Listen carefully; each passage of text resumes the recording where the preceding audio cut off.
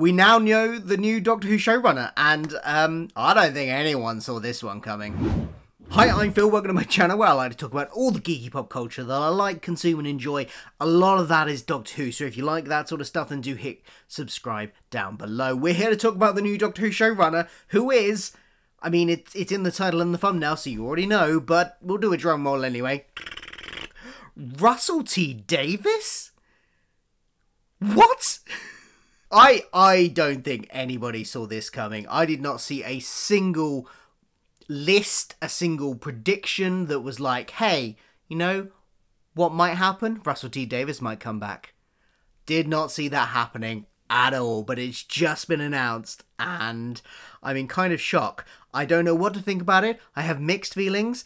Um, I obviously love Russell T Davies. I love all of his work. Um, everything I've seen of his, I've loved from Doctor Who to things like uh, obviously Years and Years and It's a Sin. Brilliant programs. He is a great uh, writer of human drama and uh, he writes brilliant stuff. And obviously, I loved his time on Doctor Who. It was the most coherent time on Doctor Who in terms of getting the series out regularly, uh, of in terms of expanding it out with spin offs, um, and lots of new stuff. And he's back for the 60th year for 2023. He's taking back over. And it seems to, the article, the press release that the BBC announced, seemed to imply that there would be content, there would be uh, something that year, because it said that he will be uh, the showrunner for that year, for the anniversary year, and for series after that. So he is officially, it's not just like he's coming in to do a one off special.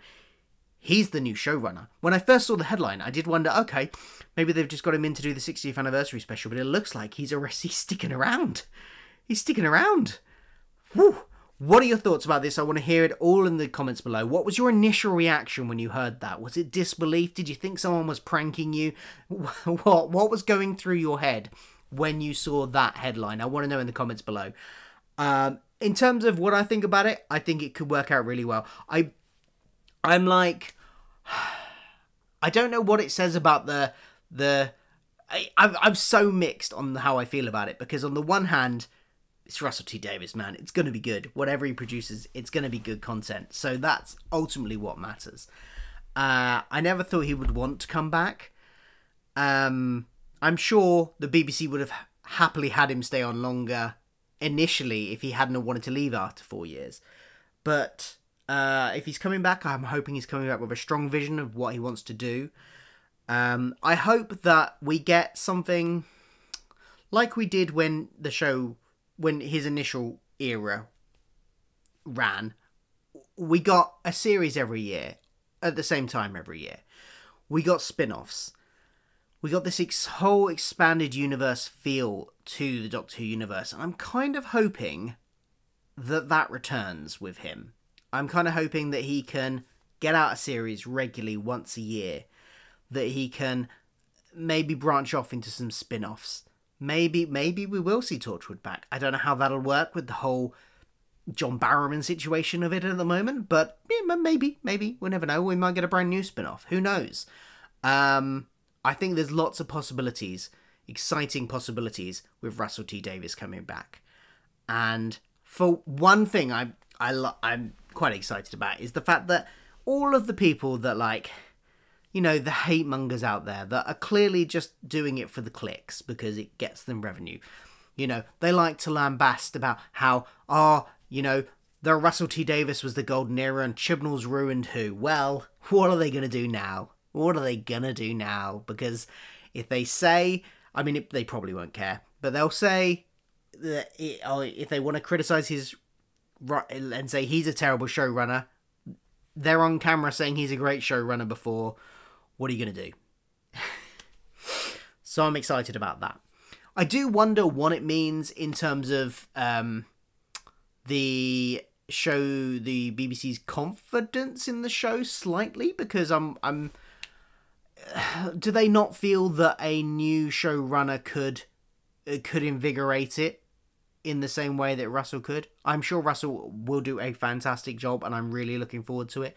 But I do th- those kind of one things are bouncing around in my head a little bit. Um, yeah, it'll be interesting to see what happens. And what do you want? What do you want him to do? I mean, he's not going to want to come in and just do the same thing again, exactly the same. He's going to want to innovate because every one of his seasons innovated a little bit more. You know, from one to four and the specials that he did, he was always innovating. So, what new innovations is he going to have? All of this stuff is racing around in my head. I'm very excited. I'm trying to remember what else was in the article. I don't think we got much information. Um, because I'm using my phone to record, so I don't have it in front of me, and I didn't bring out my laptop or anything in the rush to get this video out. Uh, but yeah, basically, I think there's a lot of potential. Oh, it's being made in conjunction with Bad Wolf Productions, which is an independent production company. So it's not completely in house within BBC Studios anymore, which is interesting. Uh, it sounds like it might be a co production between BBC Studios and Bad Wolf Productions. Obviously, you probably recognize the name Bad Wolf from the story arc from Series 1. That's because uh, the production company is made by a group of people that worked on Series 1. I can't remember the exact group of people, but they, they worked on Series 1 and they went on to form their own independent production company. So uh, they are. Uh, they are involved in it. I think they've been involved in some of other Russell's work over the years as well. So, um, so it's not a completely in-house production anymore. I don't know how that'll change things like the marketing, things like, uh, you know, uh, brand where it gets. I mean, it will still be aired on BBC One. I'm positive about that. But things like deals with Netflix, I don't know if that'll affect that. Who knows? Uh, but that's interesting. It might mean that it is moving outside of Wales. Um, there was a thing going around on Twitter yesterday and today about somebody claiming that they used to work on the show and had done for 12 years and that there was they were saying that it was changing and moving out of Wales and moving to a different production company and and not being in Wales anymore this this might lend credence to that possibly it might not be based in Wales anymore um yeah i mean it's exciting it is definitely exciting, and um, I'm looking forward to seeing where they go with it, where Russell takes it next. Oh man, I can't sorry, believe I couldn't hear what you said. I wasn't talking to you, Sir. My watch is talking to me. Sorry, I talking to you. Shh, shh. I'm recording a video. Um, yeah, I'm I'm just uh, flabbergasted that this is happening, and uh, loads of things are racing through my brain. But let me know what you think in the comments below. What do you think of this news? How excited are you? Are you excited? I, look, let me know. I, no hate. If you are disappointed in this news and you didn't want Russell T Davies, um, to be the only reason I'm I'm mildly disappointed is that I had a whole video written and scripted about predicting who the next showrunner might be, and now I have to screw that up and not use it because we now know it's my own fault for not getting off my ass and recording it quicker, but there we go. Uh, yeah, let me know all your thoughts in the comments below. I, wow, I can't wait to see where this goes. Um, thanks for watching. I will see you soon. Goodbye.